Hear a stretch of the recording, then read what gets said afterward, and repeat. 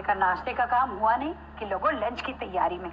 सासुमा तो बस हाथ पे हाथ धरे बैठी रहती है। बराबर एक बजे आ जाएँगी लंच की टेबल पर खाना खाने। मैं इस घर की बहुरानी क्या नौकरानी बन गई हूँ नौकरानी? नौकरानी?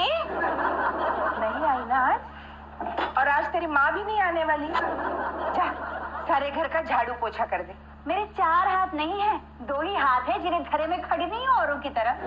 मैं काम कर रही हूँ खाना बना रही हूँ। खाना बना रही है या अपने जले हुए दिल की तरह जला रही है?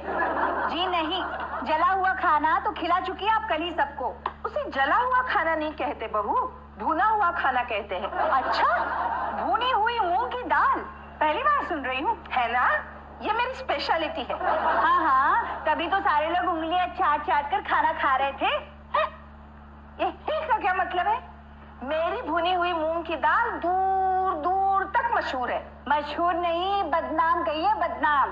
सासू माँ, वैसे आपको किसी जेल में बावर्ची होना चाहिए था, तब ज़रूर मशहूर होती आप। और तुझे बावर्ची होना चाहिए था किसी अस्पताल में। मरीजों के लायक खाना होता है तेरा। वो खाना तो मैं स्पेशली आपके लिए बनाती हूँ। मानसिक मरीज़ जो हैं आप। हूँ? हाँ हूँ मैं पागल। तभी तू जैसी बहू घर पर लाई हूँ मैं। तुम्हारे हाथ का पकाया हुआ खाना खा रही हूँ मैं।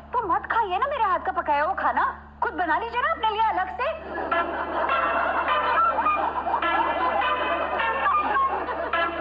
घर मेरा रसोई चूल्हा मेरा, बर्तन मेरे, और तू मुझे ही बता रही है कि अलग से खाना बना ले। तू क्यों नहीं बना लेती अलग से खाना? सच? सच? तो फिर पहले क्यों नहीं बताया? अब तक कब का बना चुकी होती मैं चूल्हा चौका अलग से। तो अब बना ले मेरी माँ। छूट जाएगी। जहाँ तो मेरी छूट जाएगी सासू माँ इतनी गुलामी करने के बाद भी तारीफ़ के दो शब्द ही नहीं निकलते आपके मुँह से। क्योंकि मैं भूल से भी कभी छूटी तारीफ़ नहीं करती हूँ। और घर का काम करना हर बहू का फ़र्ज़ बनता है। आप भी तो बहू बन के आई थी ना इस घर में? लेकिन अब मैं सास हूँ।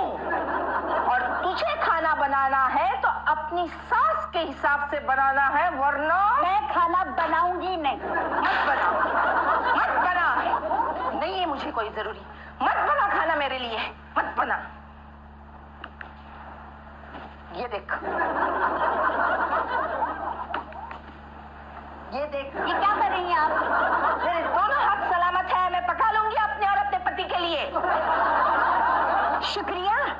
शुक्रिया आपने अपने साथ साथ मेरे पति का नाम नहीं जोड़ा। ठीक है मैं भी बना सकती हूँ। मेरे और मेरे पति के लिए खाना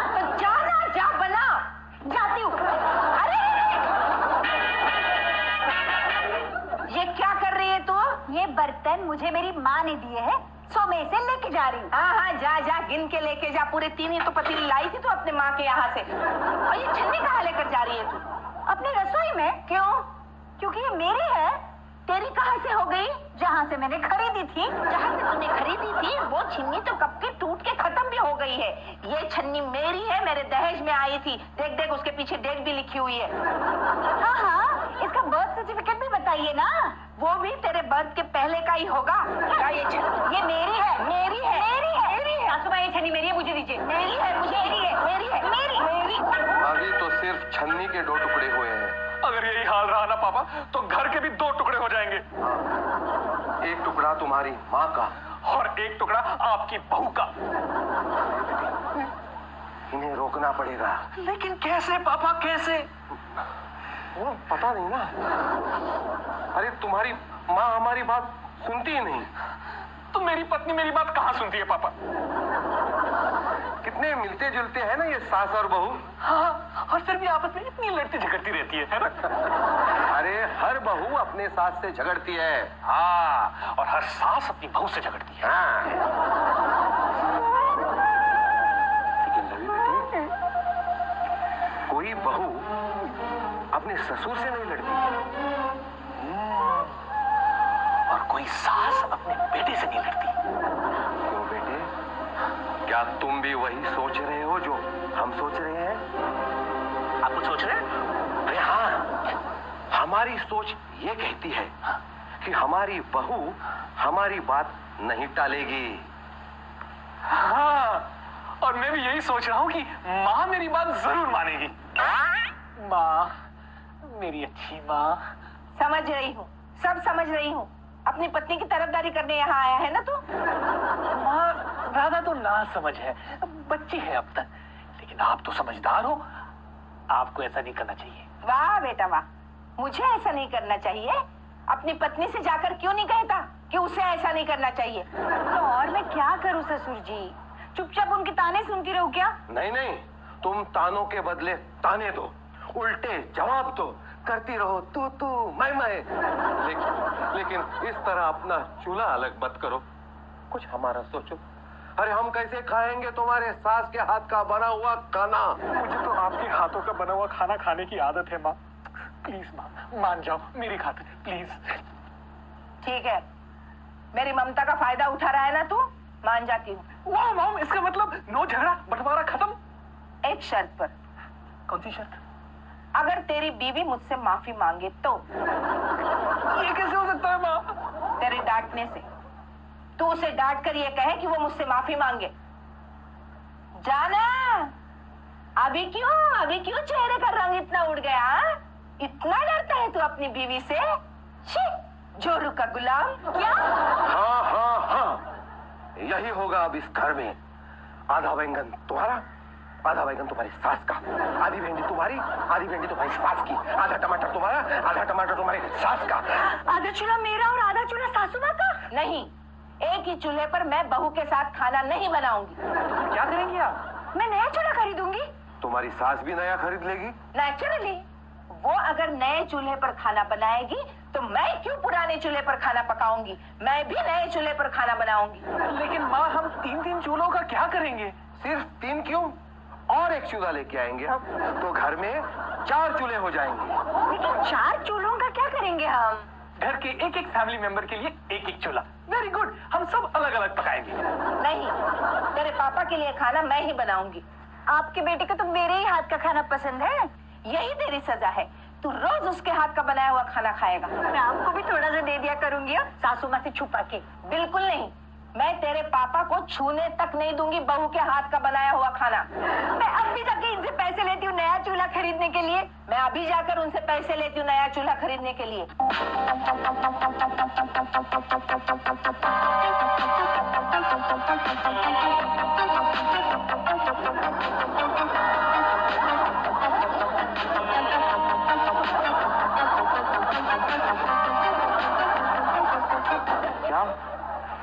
नया चूल्हा खरीदना चाहती हो? हाँ माँ भी तो जा रही है नया चूल्हा खरीद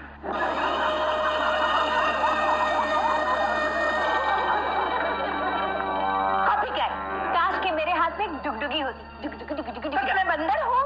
तभी तो आप हम इंसानों की नकल कर रही हैं। अरे नकल मैं नहीं तू कर रही है मेरी तरह नया चूल्हा खरीद कर हाँ मैंने तो मेरा इरादा कब का बदल दिया है। क्या? इसका मतलब अब तू नया चूल्हा नहीं खरीदेगी? सासू माँ मैं एक समझदार गृहिणी हूँ। घर में ऑलरेडी एक चूल्हे के होते हुए मैं क्यों एक नया चूल्हा खरीद कर अपने पति के पैसे बर्बाद करूँ? अरे लेकिन लेकिन ये मेरा चूल्हा है मैं इस पर खाना बनाऊँगी। इसका मतलब है आप नया चूल्हा नहीं लेंगी? नहीं। तो फिर नया चूल्हा मुझे लेना ही पड़ेगा। ये चीटिंग है। तू डबल गेम खेल रही है मेरे साथ। देवकी हमें भूख लगी है। राधा खाना बना के नहीं? मुझे पहले एक चूल्हा तो मिल जाए। खाना तो मुझे भी बनाना है। लेकिन चूल्हा तो सिर्फ़ एक है। तो क्या हो गया? सेगड़ियाँ तो दो दो है ना। एक सेगड़ी देवकी की एक सेगड़ी बहू की। आप पापा क्या बात कही है? इसे कहते हैं मॉडर्न साझा चूल्हा। क्या प्लान निकाला है पापा अरे आगे आगे देखो होता है क्या? इस मौके का पूरा पूरा फ़ायदा उठाएँगे हम। कैसे कैसे? देखो जब दो बिल्लियाँ झगड़ती है ना तो मौज उड़ाते हैं बंदर। आपने मुझे बंदर कहा। है जब माँ और राधा को इस प्लान का पता चलेगा तब तो दोनों अपने आप अपने रास्ते आ जाएगी।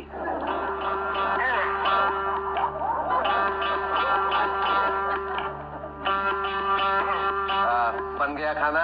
रुको भी देख तो रहे हो ना। एक ही तो सेगड़ी है। क्या क्या खाना पकेगा? और राधा हमारा मेरा खाना तो कब का बन गया? मेरे बेटे को कच्चा खाना खाने की आदत नहीं है। कच्चा चबा जाऊँगी तुम्हें। ऐसे कहने वालों को क्या पता पका हुआ खाना कैसे होता? है वैसे सर हमने भी तो देखो क्या पक रहा है आपके यहाँ? पीली दाल। बेचारे पापा।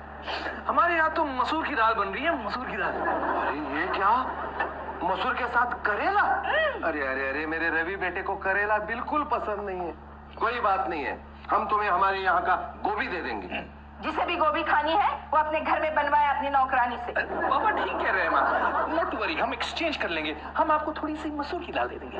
शर्त ये है कि और कोई भी नहीं खाएगा मेरी मसूर की दाल। ससुर जी हाँ। जरा टेस्ट करके देख तो लीजिए कैसी बनी है मेरी दाल। वाह वाह अच्छी है। लेकिन तुम्हारी सासू माँ उसमें नमक भी डालती है। लगता है मैं नमक डालना भूल गई। नमक घर में नमक भी नहीं है अ, कोई बात नहीं है। पड़ोसन से मांग लो। जी। नहीं इसकी सूरत ऐसी है लेकिन दिल की बहुत अच्छी है। मना नहीं करेंगी। क्यों पड़ोसन? क्यों देवकी इसे मना करने की क्या बात है? अड़ोस पड़ोस में तो लेन देन चलता रहता है। लो राधा? रवि बेटे वो कौन सी फ़िल्म थी अमिताभ बच्चन और राजेश खन्ना की? वो वाली क्या नाम? हाँ याद आया। नमक हराम। क्यों देवकी अब तो तुम्हारी दाल गल गई ना? बिल्कुल देख लीजिए। वाह वाह वाह वाह वाह वाह क्या खाना है? अरे ये तो अच्छी खासी दावत है। दो दो दालें चार चार सब्ज़ियाँ वाह वाह वाह वाह हाँ पापा ये सैलेड भी तो है सैलेड। ट्राई करके देखिए बहुत अच्छा बना है। सलाद भी कोई चीज़ होती है बनाने की जो तारीफ़ कर रहे हो? मैंने आपसे कितनी बार कहा है मेरी तारीफ़ मत किया कीजिए मत किया कीजिए। किसी को बहुत जलन होती है। अरे बहू, अब टाइम कहाँ मिलने वाला है जलने को? काम बहुत बढ़ गया है। है ना, देवकी? और बेचारी राधा को भी कितनी मेहनत करनी पड़ती है। पहले कैसे मिलजुल करके सब काम हुआ करता था। सुबह एक ने किया, शाम को दूसरे ने किया। लेकिन अब दोनों को डबल मेहनत करनी पड़ती है। पापा दोनों है तो खुश ना? हाँ देखो देखो ना। खुशी कैसे टपक रही है इनके चेहरों से। और क्या चाहिए पापा? कुछ नहीं कुछ नहीं। घर की औरतें खुश तो हम भी खुश। ये कह रहे हो कि तुम क्यों उठ गई? मेरा पेट भर गया है। राधा तुमने भी तो कुछ नहीं खाया? मुझे भूख नहीं है।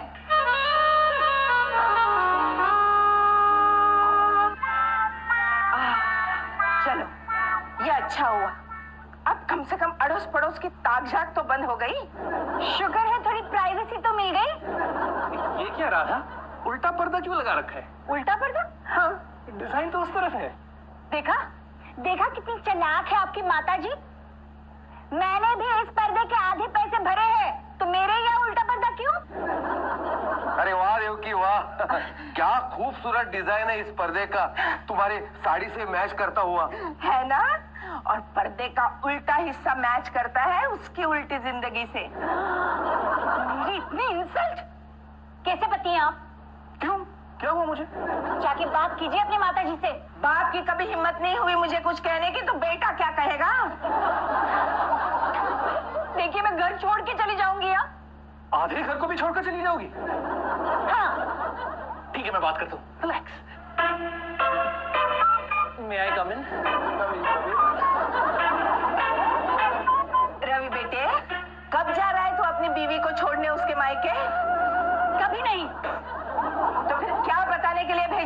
पत्नी ने यहाँ बात पर्दे की है। अच्छा क्या क्या?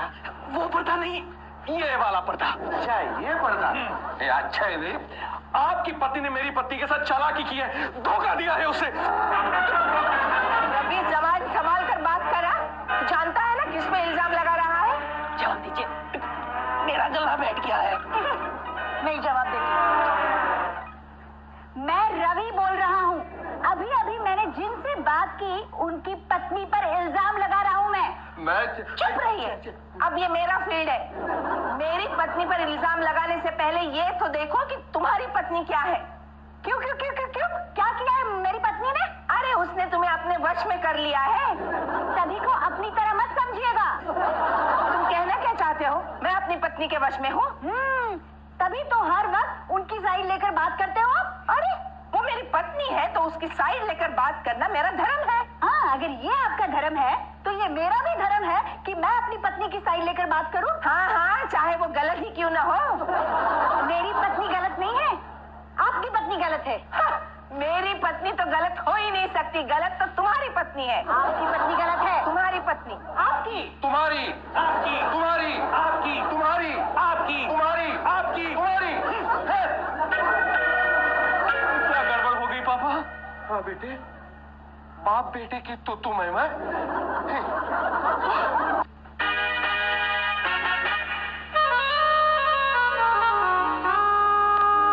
तो क्या तुम दोनों घर छोड़कर जा रही हो? राधा माँ प्लीज़ मत जाओ। बहू रानी। सासू माँ। सकती। आपकी वजह से मैं इस घर को छोड़कर जा रही हूँ और आप ही मुझे रोक रही हैं। अरे जलम जली याद कर उस दिन को जिस दिन इस घर की बहू बन के आई थी। हाँ याद है मुझे वो दिन। बहुत अच्छी तरह से याद है कितना रोई थी ना मैं अपनी माँ को याद कर करके। तभी मैंने तुम्हें अपने प्यार भरी गोद में बिठाकर तुम्हें अपनी बेटी बना लिया था। मैंने भी तो हर बार आपकी बेटी बनकर आपका साथ दिया। अरे तुमने तो मेरी बेटी को ही भुला दिया। वो तो भूलने लायक है। अच्छा। हाँ। तो तुम्हारी माँ भी तुम्हें भूल गई होगी। अच्छा तभी तो हर रोज उसकी चिट्ठी आती है मेरे यहाँ। वो कंफर्म करने के लिए कहीं तुम आ तो नहीं रही। बिल्कुल नहीं। इनफैक्ट वो मुझे हर बार इनवाइट करती है कि बेटी तुम आई क्यों नहीं? तो जाना अपनी माँ के घर जाना। अरे लांग कर तो दिखा इस घर की दहलीज को। आप भी तो जा रही है इस घर को छोड़कर हाँ। तो और मैं क्या करूँ? कुछ भी कीजिए लेकिन इस घर की तू तू मैमे को इस घर के अंदर ही रहने दीजिए हाँ। तू ही अपनी तू तू मैमे को लेकर अपने घर से बाहर जा रही है। लेकिन आप ही तो लाई इसे घर के दरवाजे तक। तो तू वापस मुड़ ना। आप मुड़िए। तू मुड़। आप तू आप तू आप तू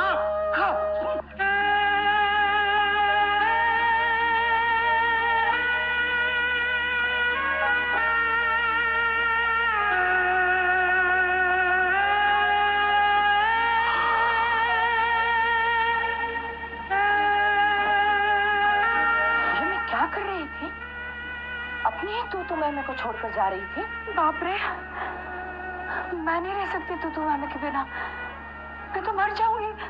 ओ माय गॉड ऐसा सोच के ही मुझे घबराहट हो रही है। मुझे चक्कर आ रहा है। मैं- मैं बेहोश हो रही हूँ। राधा अरे क्या होगा तुम्हें? मुझे थोड़ी चक्कर आ रही है रवि ओह माय गॉड अरे बाप रे तुम्हें तो तेज बुखार है? मैं अभी डॉक्टर बुलाता हूँ नहीं नहीं रवि। देखो मैं बहुत थक गई हूँ ना। थोड़ा आराम करती हूँ ठीक हो जाऊँगी। लेकिन आज रात का खाना तुम अपनी माँ के यहाँ खा लेना हाँ? खाना टेस्टी नहीं हुआ तो क्या हुआ? माँ आखिर माँ होती है ना? माँ? सासू माँ। माँ? माँ? क्या हुआ? माँ वो वो राधा को क्या हुआ बहू को? बहुत तेज बुखार है माँ उसे। बहू को बुखार है? हाँ। बहू? बहू! पापा इन दोनों को अकेला छोड़ दो। अब क्या हुआ तुझे?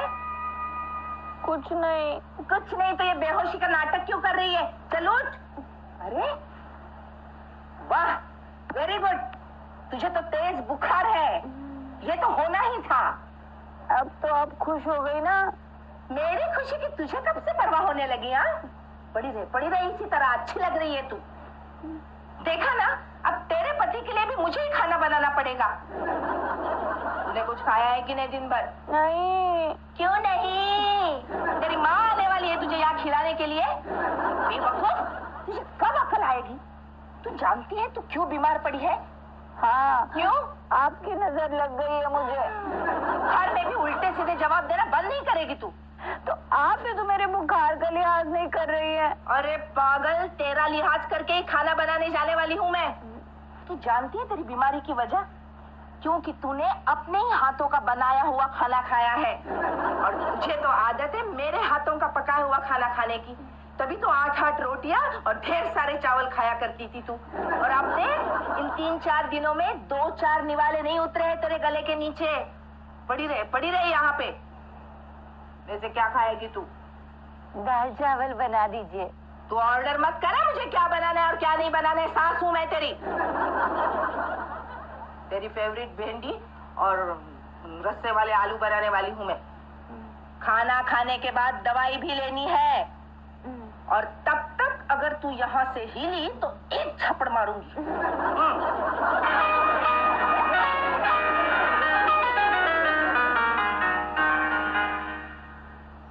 बड़े खुश हो रहे थे हमारा पार्टीशन देखकर, अंग्रेज़ कहीं के।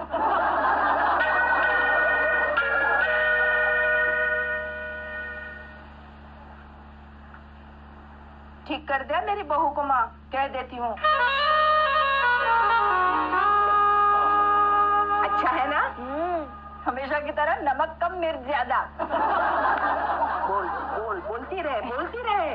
दरअसल मैं ये कह रही थी कि मैं तुझसे माफ़ी नहीं नहीं सासू माँ आप मुझसे माफ़ी अरे चुप! बोलने तो दे मुझे। मैं तुझसे माफ़ी थोड़ी ही मांगूँगी। मैं तो कह रही थी कि मैं तुझसे माफ़ी की उम्मीद ही नहीं कर सकती।